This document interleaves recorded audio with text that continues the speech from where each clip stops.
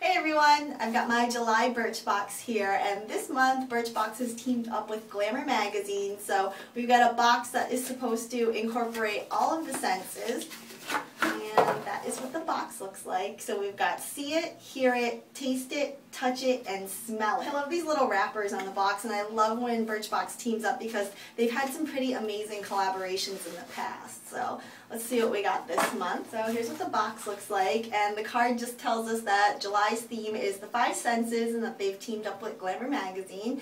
And on the back you've got a little description of everything that's inside the box and this month, next to the products, there are little icons, like there's a hand, eyes, nose, and ears. So they tell you how each of the products correlates with the five senses. So that's pretty cool. Let's see what we got. I like the blue tissue paper this month. And that's what we have inside.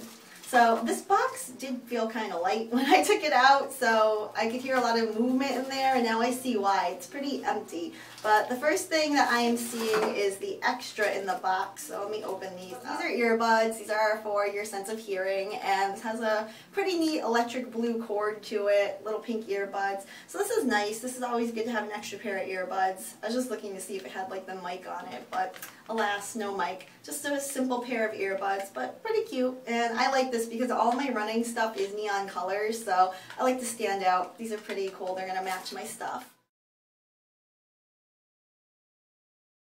I have a sample from Manna Kadar. This is Sheer Glo Shimmer Lotion, and according to the card, this is Sight. So this is an illuminating lotion, and that's what the sample looks like. Which initially, when I picked this up, I thought it was a perfume sample just because it's in the little foldy cardboard envelope, but that's what the little guy looks like.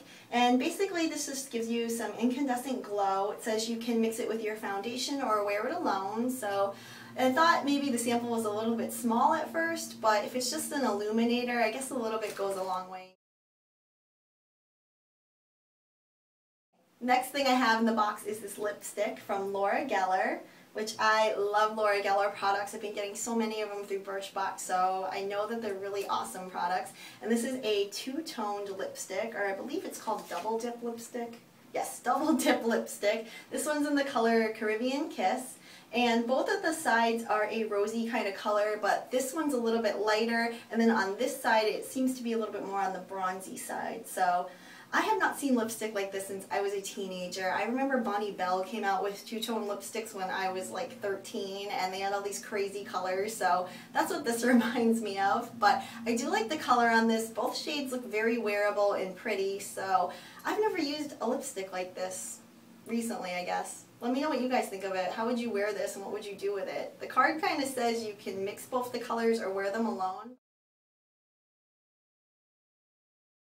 Next I have my little packet here, which is in this fun neon green paper this month.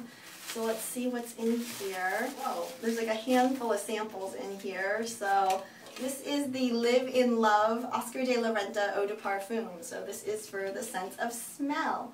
So let's see. Oh, it's that stopper. You guys know I hate that. Oh, stinky. Let's see. Very light and pretty. The card says that it is a blend of floral, hyacinth, and orchid over a rich base of sandalwood and cedar. That's really pretty. I like this perfume more than the last couple of samples I've been receiving from Birchbox. I feel like I would wear this and it smells light enough to kind of carry off in the summer, daytime or nighttime, but very pretty. I like that. Last thing I have in the box are these sample packets of fresh soy face cleanser, which I am not really pleased about the way this is presented. I feel like if you're going to send me three samples like this, why couldn't you put them in a little plastic tube at least to make it look like it's a little bit more substantial? I was really disappointed when I saw the way this was kind of scent. But Soy Fresh Face Cleanser is supposed to be for the sense of touch, for the five senses correlation there. And it's a gel cleanser, so it's good at removing your makeup. I've actually never tried this before, and I love fresh products, but like I said, a little disappointed in the way this was sent. But, I mean, I'll still use it.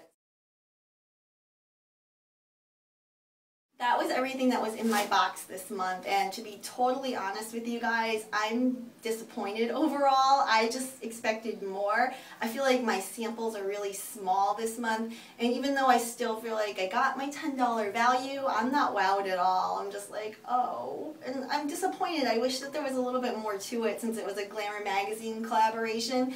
And hello where is my taste where's my tasty treat I just watched like other people's Birchboxes and they were getting little scrumdiddlyumptious bars and things to eat, and I have nothing to eat.